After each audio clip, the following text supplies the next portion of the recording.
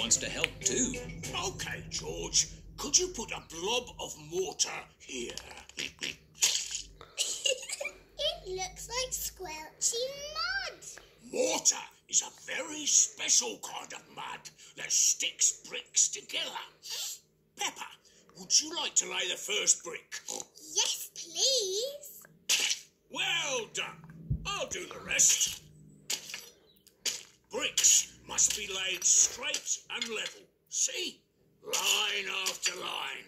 That will take ages. Yes. Will you finish it today? Oh, no. You can't build a house in a day. It'll be finished tomorrow. Good. See you tomorrow, Mr. Bull. Bye-bye. Bye. George put the sticky mud down and I put the brick on top. All sounds very exciting. Now, close your eyes and go to sleep.